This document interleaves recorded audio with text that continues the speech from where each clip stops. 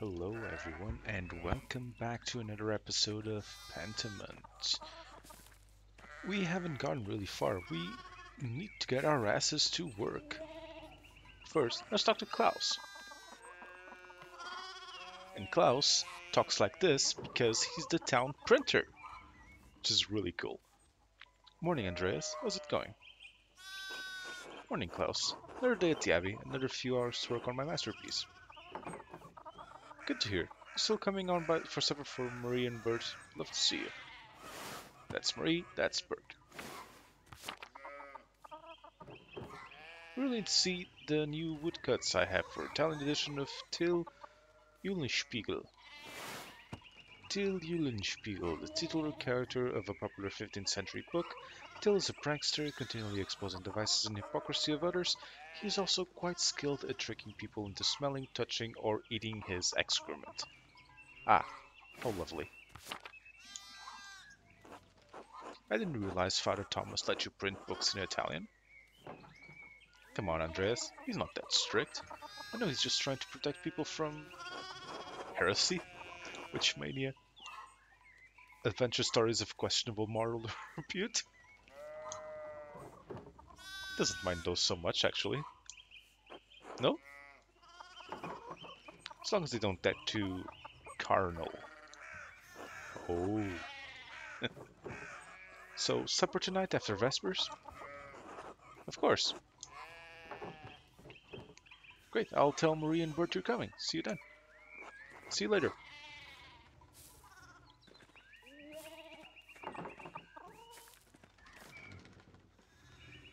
Hi, Father Thomas.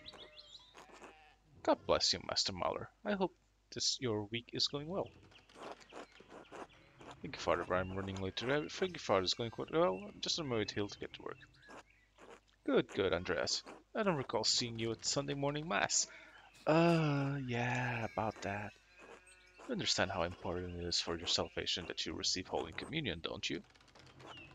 Uh, yes, I apologize, Father. I'll make it this Sunday. Just stayed up. Just stayed up too late on Saturday. I don't want to get in an argument with him about this. Would going to church on Sunday be such a burden? For if not for his sake, consider for your own. Man has many, many duties. Father Thomas should appreciate how hard you work to help the Abbey. This asshole can make you go to mass. To hell with him. Man has many duties. Almost everyone in town will start there. I apologize. Uh, I'll make it this Saturday, this Sunday. You don't have to make a promise to me, but your salvation is contingent. I, I, I love that they make mistakes sometimes, but, but it makes it hard for me to read. it's contingent on...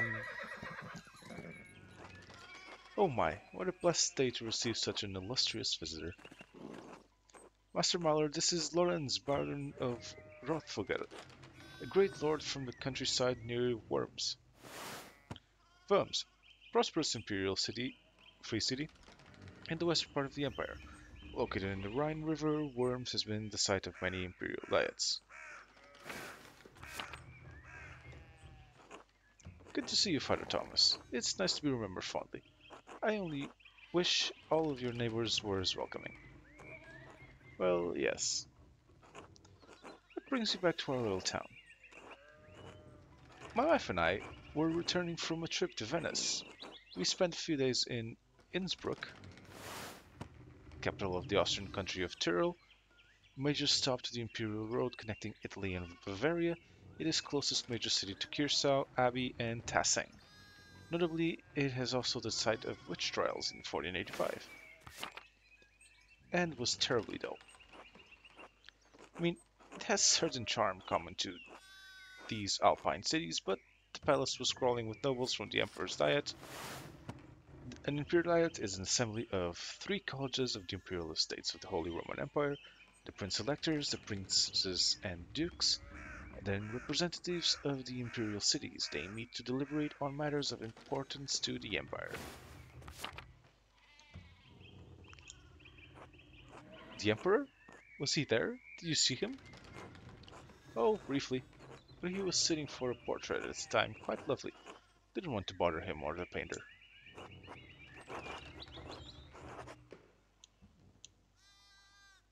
Hmm. How was Venice, my lord? No. Who was the artist? I'm sure you know him. An older man from Nuremberg with enough of a reputation to paint to the Emperor. I'm sorry, my lord, I'm not sure who you mean. Have you not heard of Albrecht Dürer? Pity, I thought he was known across the Empire. Dürer. Albrecht Dürer is a renowned painter and printmaker from Nuremberg. He's revered in Venice as well as across the Holy Roman Empire since 1512. He has enjoyed the patronage of Emperor Maximilian I.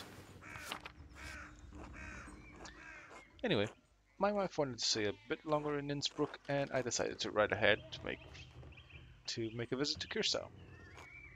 I heard Father Matthias died shortly after my last visit, of course. Abbot of Kiersau before Father Gernot, widely respected by the monks and nuns as well as the people of Tassing, known for his kindness and his love of books.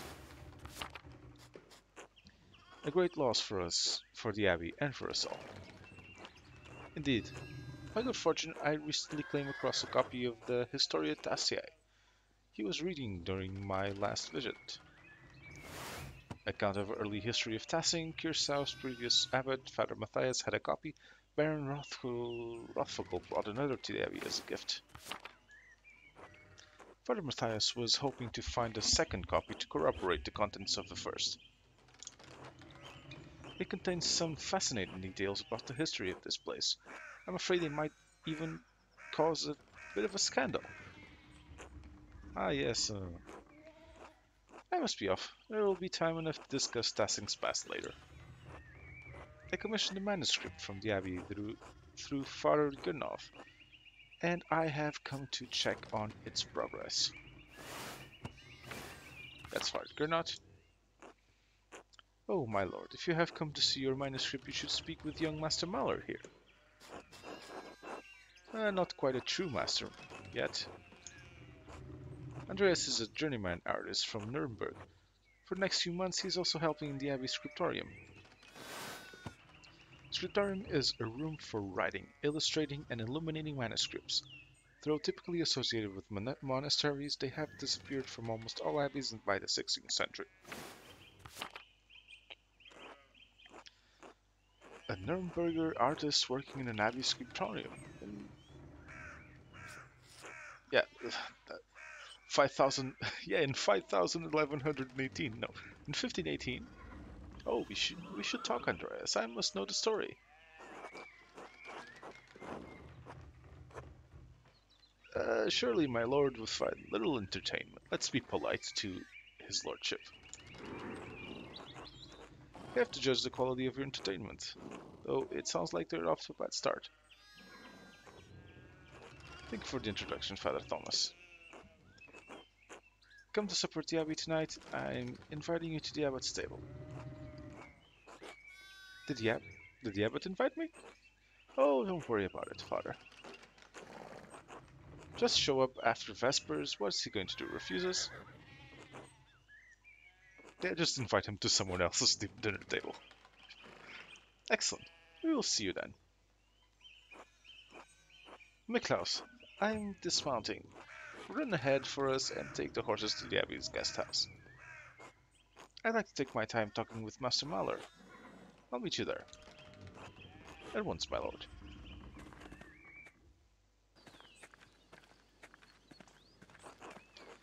So then, a journeyman from Nuremberg. Forgive me for saying so, but you seem a little bit old to not yet be a master. You said you were you were unmarried? No, I'm not married, but in truth I came to my vocation later than my father and brothers.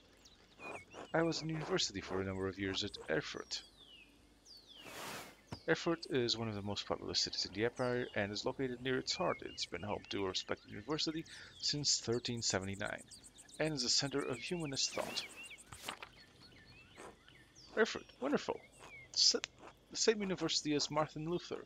Have you read his works? No. Martin Luther was a priest and professor of theology at the University of Wittenberg, Wittenberg, controversial for his opinions on the Church's sale of indulgences to forgive sin, which were recently published and distributed throughout the empire. He says things about the church that should have been said years ago. Might get him into trouble, but he's brave. Brilliant man. Wait, you may have met him, did you? You must tell me. Ah, no, he was a few years ahead of me. Still, his ideas seem fascinating. Hmm. Are we going to be Protestants? Or are, or are we going to be remain faithful to the one true universal Catholic Church? Let, us be a little bit of a let, let's commit some slight heresy, just as a treat. I agree, wholeheartedly. I simply must meet him if I get a chance. I wonder if the good brothers of the Abbey have heard of him.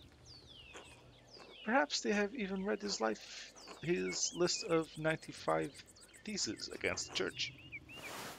List of propositions against the Church practice of selling indulgences for the remission of sin was written in 1517 by Martin Luther.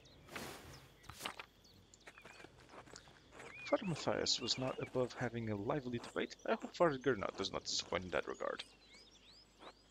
But enough about Luther for now. Tell me about your university studies. Did you attend university? You seem very well educated. Ah, no, my family is merely wealthy enough to have provided me with all of the books and tutors a child could dream of. I love all knowledge, from Aristotle to Cicero to Ficino and Erasmus, and everyone in between and yet to come. Cicero, statesman, scholar, lawyer, and renowned orator of the late Roman Republic, he is revered both for his contributions to Latin literature and his skill at rhetoric. Ficino, Marsilio Ficino was a 15th century Italian priest and humanist who was of the leading figures of the Italian Renaissance. He is known for his translations of the work of Plato into Latin. Erasmus of Rotterdam, a Dutch priest and philosopher who is prominent among northern humanists, he is known for his works in Latin and Greek as well as his calls for reform within the Church. Aristotle, Greek philosopher and student of Plato, renowned as a polymath, he wrote on a wide variety of subjects. His work is extensively cited by current scholars, and even more works attributed to him than he could have ever written. I may have misjudged Baron. He seems he is well, as well read as any university student. In truth, I am simply happy to speak with another well-educated man. Now then, did you earn your doctorate?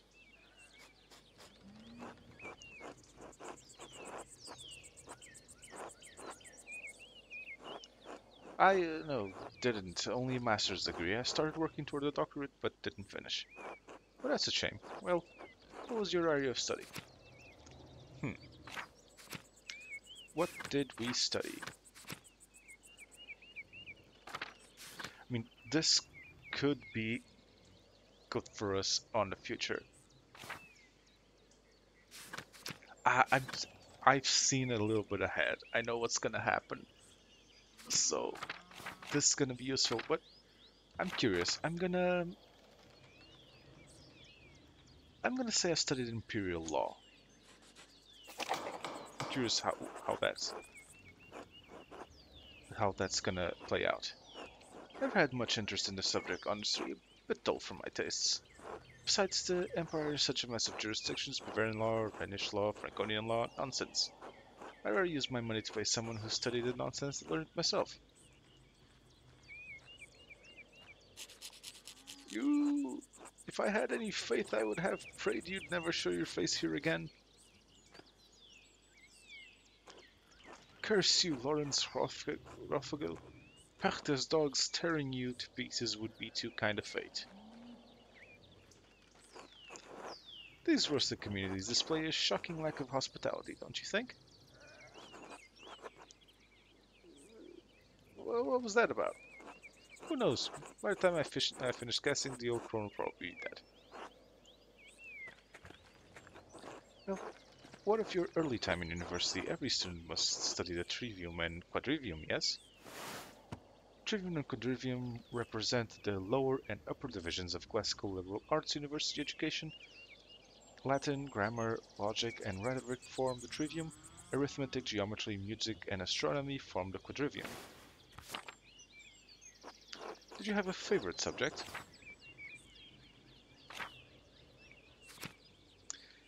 Oh, I, I, I do want to study Latin. Strong command of Latin.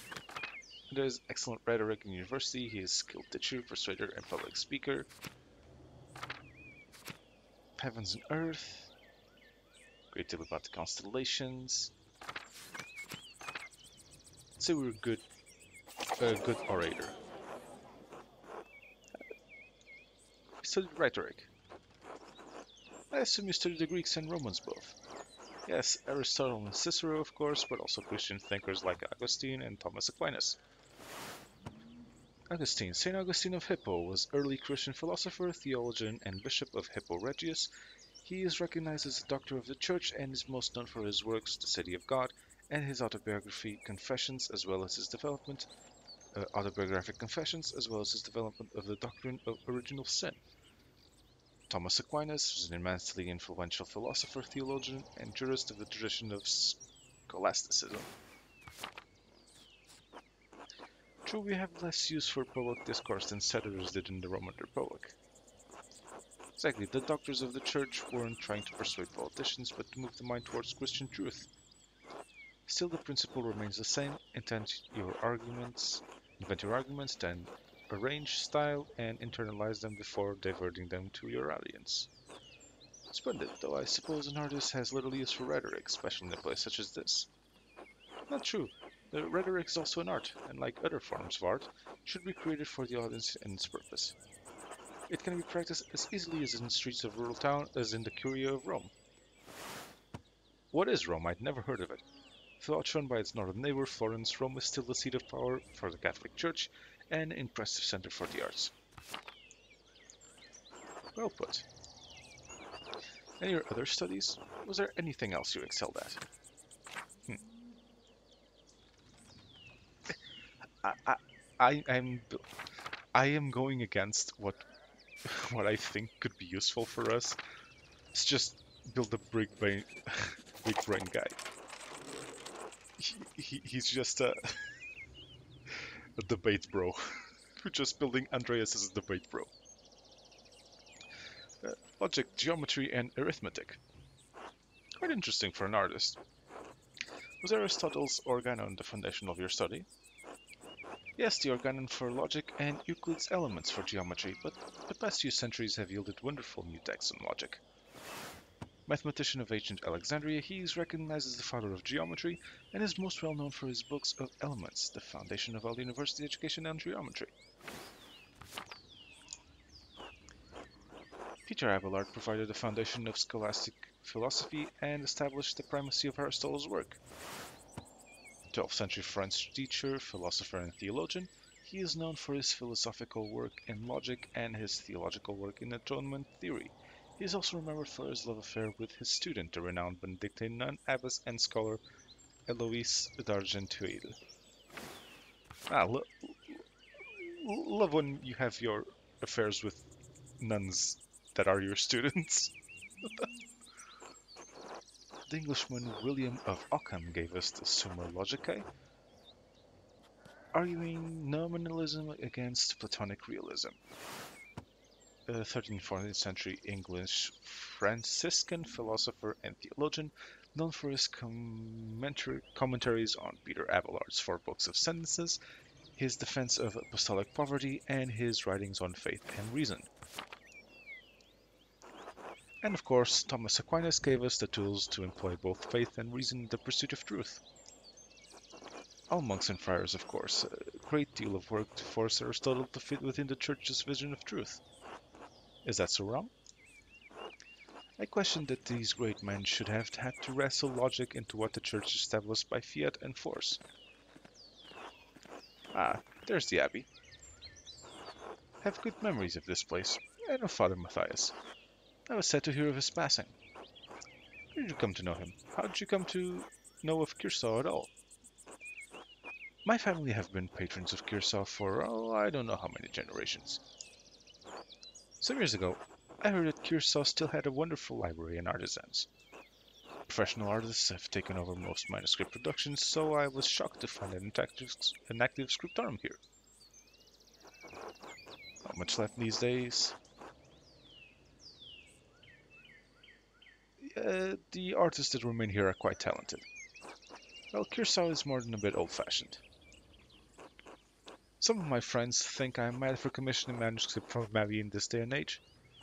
But, well, my family have been patrons of Kiersau for generations. It seems wrong to stop now while there's still talent here. I commissioned the manuscript for Father Gernot a year ago. I thought I would stop by and check on the progress. Wait, are you the artist working on it? It's a prayer book with 20 illustrations. I know the work, but no, I do know the artist well, the venerable brother Piero.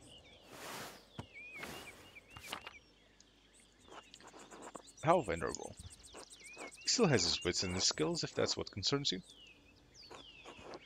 Brother Piero has an incredible talent with Galar. Then I very much look forward to seeing it.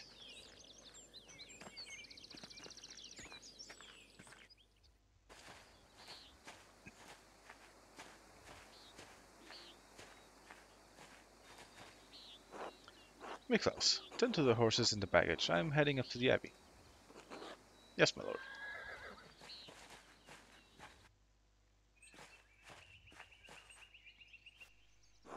Well, let's not keep the abbot waiting any longer.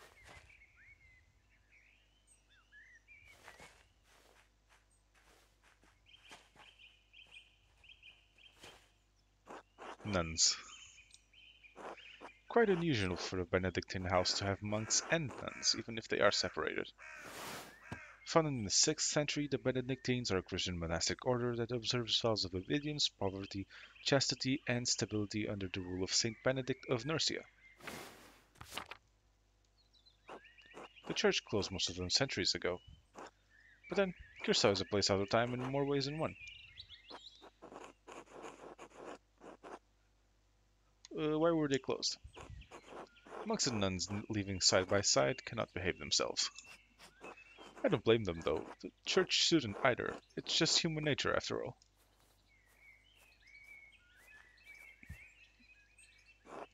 I must be Father Genar. I'm Lorenz, Baron of... Yes, the Baron of Rothvogel. So wonderful to have you here again. We actually did meet on your last visit.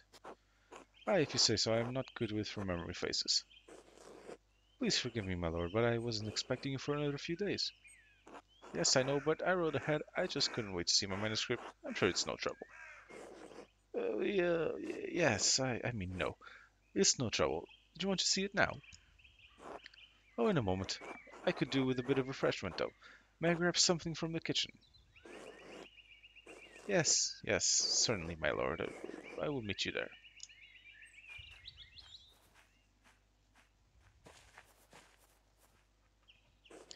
Andreas, I don't know what you were doing with the Baron, but I'll lead you in the scriptorium now. Why are you taking this out of me? It's not my problem. Book of Hours, a type of illuminated manuscript that contains an abbreviated form of the prayers of the Divine Office, in addition to other religious texts. Most are relatively plain, but wealthy patrons often commission lavish examples with elaborate illustrations. Uh, is this a bad time to ask for an advance?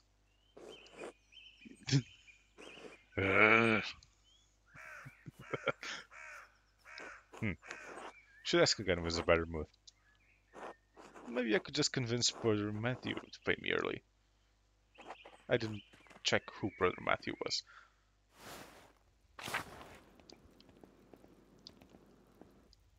No, I want to explore.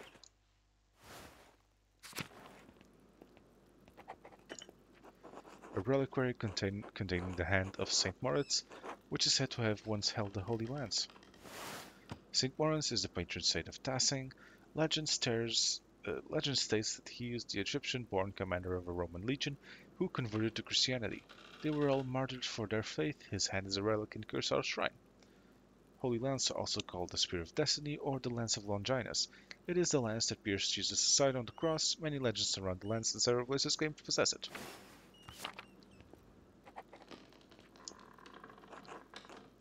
God bless you, Master Maler. How goes your work in the scriptorium? Uh, very well, thank you. Well, and I guess you wouldn't be interested in the Saffron Agnes... Uh, Stern... I can't read that name. Received yesterday. What? Saffron? Really? Where'd you hear that? Sister Matilda saw her at the Albans. You can convince Prior Ferenc to get you some for your aloes. Hmm, good to know. How's Mousefanger? She's around here somewhere. Hopefully getting to the baby rabbits before Sister Matilda does. Till later, Sister Gertrude. Bless you, Andreas. Maybe I'll see you by the shrine of Saint Satya one of these days. God bless you, Master Maler. God bless you, Brother Piero. No, wait, it's Master Maler. I thought you couldn't see, Sister Margareta. During the day I can see some colors. How'd you know it was me? You and Brother Piero both smell of the pigments and you use. But you're taller and you have another smell to you, like filth or burned almonds. Oh, that's old linseed oil. I'll ask Sister Gertrude about it. How are Sister Gertrude's herbs coming? It's too early to tell. Most of them won't be grown until May. Still working with herbs suits me. Have a good day, Sister Margareta. God bless you, Master Maler. Anything else here? Not yet.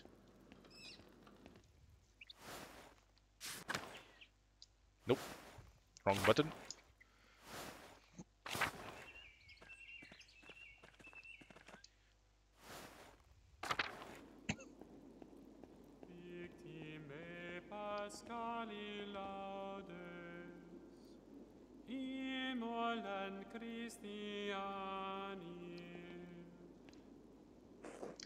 Bless you, Andreas.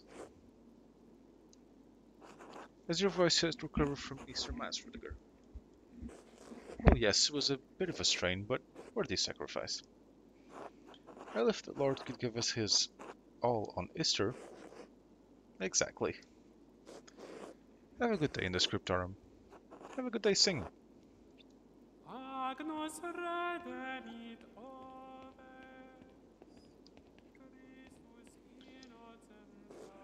God bless you, Andreas. How was the sacristy today, Matthew? The same as yesterday. Does my vocation seem silly to you, Master Maler? No, I was just being friendly. Then go in peace, friend. Know that the Abbey's treasures are secure from another day. God be with you. I have a favor to ask you. Yes, Andreas? I was hoping you could give me pay for the latest ma- manuscript early.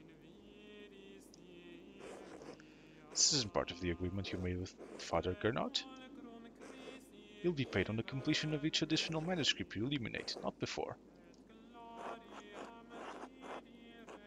I only have a few pages left. And I think you can wait a few days to collect your wages. This abbey runs through mutual agreements, not haphazard payments. Breaking such contracts would cause undue trouble not only for Kiersau, but for Tassing as well. The matter is pressing, Brother Matthew. For the love of another Christian, I beg you to make an exception. Very well. Do not ask this of me again, Andreas Maler. There you are. I shall note this with Father Gernot and Prior Ferenc. Thank you, Brother Matthew. God bless you, Andreas. See, our big brain logic has already given fruit. Right, now that I've got my payment, I can give Clara the rent early. I'll give it to her directory to make sure she receives it.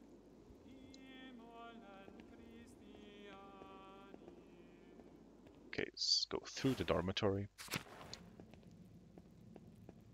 Not into the Old Bailey, I want to go to the cloister.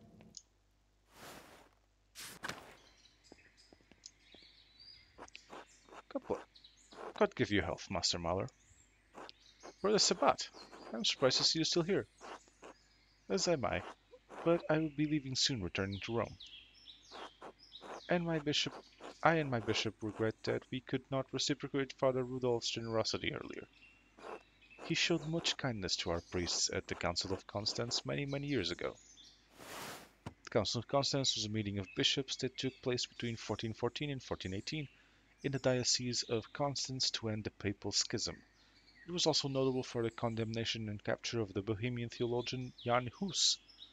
Oh, I remember Jan Hus. He was the guy from from Kingdom Come Deliverance. It's a, like a proto Martin Luther. We remain in Rome. This is up to my bishop, but I will miss these mountains in any case. You should travel to Ethiopia, Master Maler, and see the highlands. God has blessed my home with a wondrous beauty. I would love to someday. I still need to return to Nuremberg and open my workshop. Yes, someday. Until then, if you're ever in Rome, I may still be around. I've only made it as far south as Florence, but I like to see Rome. Florence, home to the powerful Medici family who ruled the city for centuries. Florence is known for its artistic patronage, hosting artists and thinkers including Michelangelo, Leonardo da Vinci, Botticelli, and Machiavelli. By the way, if you have some time in the next few days, it would be nice to share a meal with you and some of the townsfolk. The townsfolk? I'm accustomed to strange looks, especially in rural places like these, but I've had kind words with the baker and his wife. I asked the Albans, Ulrich and Gret.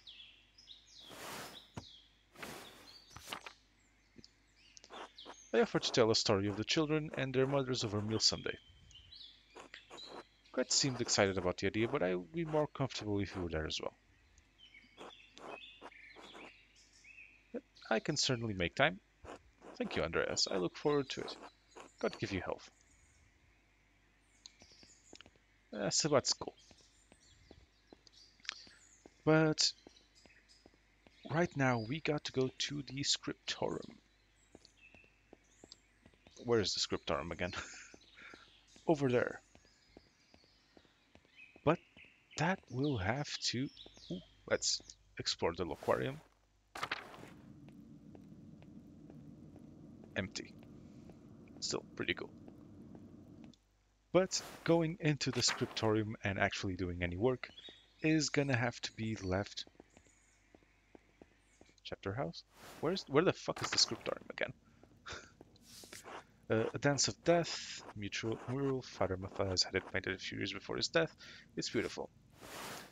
Artistic allegory of the constancy of death. Illustrations after often feature people from every station of society to communicate that death is inevitable. Claims everyone from the peasant to the emperor.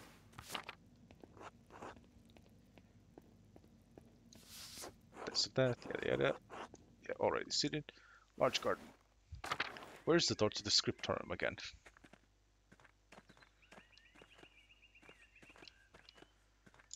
Let's go to the refectory.